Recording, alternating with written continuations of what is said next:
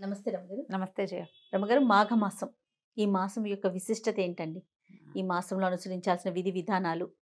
బోల్డ్ అని మాఘం పుష్యమాసం అవ్వంగానే సంక్రాంతి పండగ వెళ్ళేసరికల్లా ఇంచుమించు ఓ వారం పది రోజుల్లో అలా వచ్చేస్తుంది. ఈ సంవత్సరం ఇరవై రెండో తారీఖే మనకి మాఘమాసం. మాఘమాసం వచ్చేస్తుంది. మాఘము సౌరమాసం. సూర్య సంబంధమైన మాసం. ఇప్పుడు సూర్యారాధన విశేషమైన ఫలితాన్ని ఇస్తుందట. మాఘంలో వచ్చేటువంటి ఆదివారాలు. మాఘంలో వచ్చే సప్తమి. మాఘంలో వచ్చే రేపు చతుర్దశి ఇది మన మహాశివరాత్రి కూడా విశేషంగా చెప్పుకుంటాం. మాఘంలోనే భీష్మ ఏకాదశి వస్తుంది. గజం కేవలం ఐదు వందల రూపాయలతో పన్నెండు వందల పది గజాల భూమి కేవలం ఆరు లక్షలు మాత్రమే. ఈ మాఘంలో ఏంటంటే కార్తీకంలో చేసినట్టుగానే మాఘంలో కూడా మ్, ఏమనాలి పొద్దున్నే స్నానం చేయాలి. కార్తీక స్నానం సూర్యోదయాత్ పూర్వం. అవును. ఇది సూర్యోదయం అవగానే చేయటం. మాఘమంతా మనం సూర్య దర్శనం చేస్తే విశేషమైన ఆరోగ్యం లభిస్తుంది. మాఘ పురాణం కూడా చాలా బాగుంటుంది. మాఘ పురాణం. బాగుంటుంది. చేశాం కదా. చేశాం కదా. మాఘ పురాణం వినడం కూడా మంచి విశేషమైన ఫలితాన్ని ఇస్తుంది. ఇప్పుడు ఏంటంటే సూర్యుడు నిన్నటి నుంచి మనం ఎప్పటి నుంచి మకర సంక్రమణం నుంచి కొంచెం భూమికి దగ్గరగా వస్తాడు. దగ్గరగా రావటం. ఉత్తరం వైపుకి వాలి మనకి ఉదయించటం. తేజరిల్లటం. సౌరశక్తి పెరగటం మొదలు పెడుతుంది అనమాట భూమికి కొంచెం దగ్గరగా వస్తాడు. ఓకే. ఇలాంటప్పుడు గనక మనం సూర్యారాధన చేస్తే ఆరోగ్యానికి మంచిది. ప్రకృతికి మేలు చేసే ఆరాధన ఏంటంటే సూర్యారాధన. సూర్యుడు ప్రత్యక్ష నారాయణ స్వరూపం కదా. ఇప్పుడు మనం మామూలుగా చెప్పుకుంటాం సృష్టి స్థితి లయకారకులు. సృష్టికారకుడు బ్రహ్మ స్థితికారకుడు. ఆ విష్ణువు లయకారకుడు శివుడు. స్థితికారకుడు అంటే విష్ణువు ఏం చేస్తాడు? మనని కాచి కాపాడతాడు. కదా? ఆ కాచి కాపాడే దాంట్లో మనకి ఆహారాన్ని ఇవ్వడము ఆరోగ్యాన్ని ఇవ్వటం అనేది ఒక ప్రత్యేకమైన సెషన్ కదా ఒక ప్రోగ్రామ్. ఆ ప్రోగ్రామ్కి అధిపతి సూర్యుడు. సూర్యుడి వల్లే మనకి పంటలు పండుతాయి. సూర్యరశ్మి వల్లే ఆరోగ్యం. సూర్యుడు సూర్యుడి వల్లే మన రోజు. మన దినం గడుస్తుంది కదా. ఏ దినం? అనుదినము మనకి సూర్యుడు కనపడాల్సింది. ఏ రోజున సూర్యుడు లేడో ఆ రోజున చీకటిగా ఉంటుంది జీవితం. సూర్యుడు లేకపోతే పచ్చదనం లేదు. అవును. పచ్చదనం లేకపోతే పంట లేదు పంట లేకపోతే తిండి లేదు తిండి లేకపోతే మనిషి లేడు ఇంకా. సైకిల్ కదా ఇదంతా. సో ఇప్పుడు వచ్చేటువంటి సూర్యుని ఆరాధించడం చాలా విశేషమైంది. మాఘంలో ప్రత్యేకంగా మామూలుగా మనకు ఆదివారాలు సప్తమి తిథులు సూర్యుడికి సంబంధించినవి. రవివారం అంటాం ఆదివారం. కదా? సండే. సండే కాబట్టి ఈ ఆదివారం నాడు మామూలు ఆదివారాలు ఎట్లా చేసుకుంటాం మనం? మామూలు అది మన మన ఆట విడుపుగా ఉంటుంది. మాఘ ఆదివారాలు పర్వదినాలు ఈ మాఘపు ఆదివారం రోజున తప్పకుండా సూర్యుడిని నమ- నమస్కరించటము విశేషంగా. తర్వాత సూర్యుడి కోసం పాలు పొంగించటము సూర్యుడికి సంబంధించిన స్తోత్రాలు చదువుకోవటం. ఆ రోజు నియమం ఏం చెప్తారంటే స్త్రీ త తైల మధు మాంసాన్ని వర్జయేత్ అని ఓకే బ్రహ్మచర్యం చేయాలి తైలం మానేయాలి. నూనె మానేసి నేతితోటి వంట చేసుకోవాలి. ఓహో. మధువు మాంసము కూడా పనికిరావు. ఏదైనా తాగటం కానీ మాంసాహారం కానీ నిషేధించబడింది. సంవత్సరం అంతా మీరు నిషేధంలో ఉన్నా లేకపోయినా కనీసం ఈ మాఘమాసంలో ఉన్న నాలుగు ఆదివారాలని క్యాలెండర్లో టిక్ చేసుకుని ఆ ఫోర్ డేస్ అయినా మానేయచ్చు. అంటే మానేయండి అంటే ఎలా ఉంటుంది ఆజ్ఞగా ఉంటుంది. ఆజ్ఞ కాదు.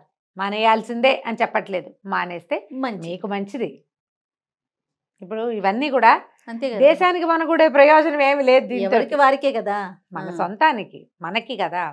నువ్వు ఎవరైనా ఒకళ్ళు మానేస్తే వాళ్ళకి ఆరోగ్యం ఇంట్లో ఒకళ్ళు మానేస్తే మిగిలిన వాళ్ళకి ఆరోగ్యం రాదు కదా. ఎవరు తింటే వాళ్ళు కడుపు నిండుతుంది.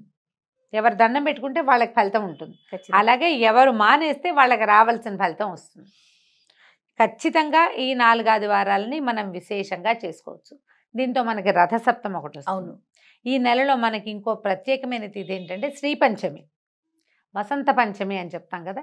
మాఘంలో వచ్చేటువంటి ఐదో రోజు ఈ పంచమి నాడే సరస్వతీదేవి జన్మదినం అని చెప్తారు. ఈ రోజున మనం సరస్వతి పూజ చేసుకుంటాం.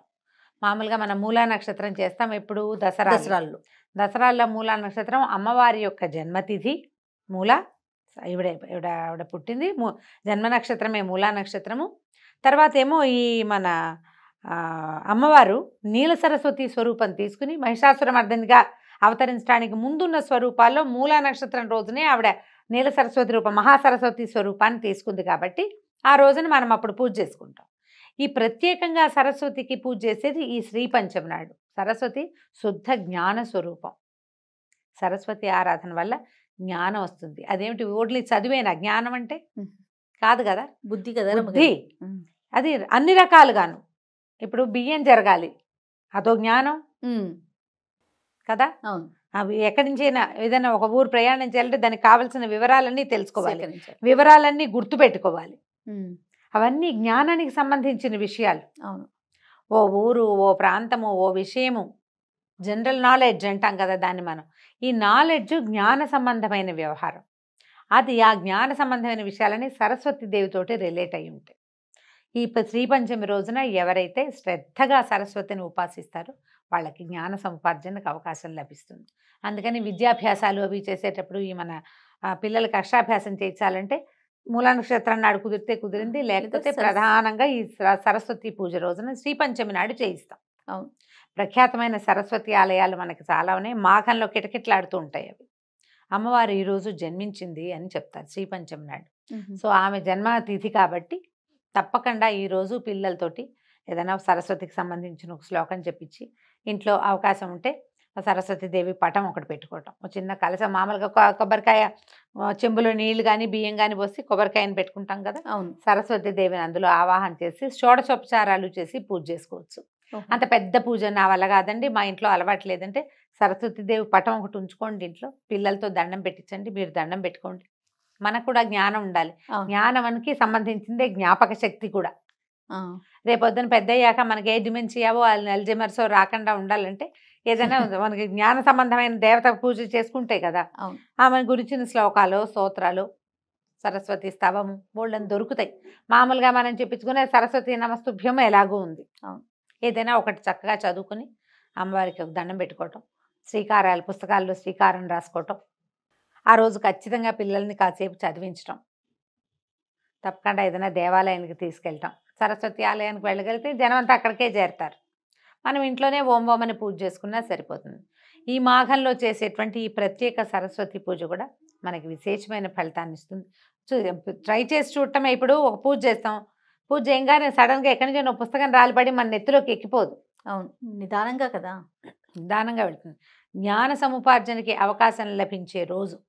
కాబట్టి ఈ రోజున మనం ఏదైనా కొత్త పుస్తకం చదవటం మొదలు పెట్టడం కొత్త శాస్త్రం మొదలు పెట్టుకోవటం సబ్జెక్టు కొత్తది. ఈ రోజునే మనం ట్యూషన్స్ కానీ ఎక్కడికైనా పంపించదలుచుకున్నాం అనుకో సంగీతం పాఠానికి నాట్యం డ్యాన్స్ క్లాసులకి ఫస్ట్ స్టార్ట్. చేస్తాం.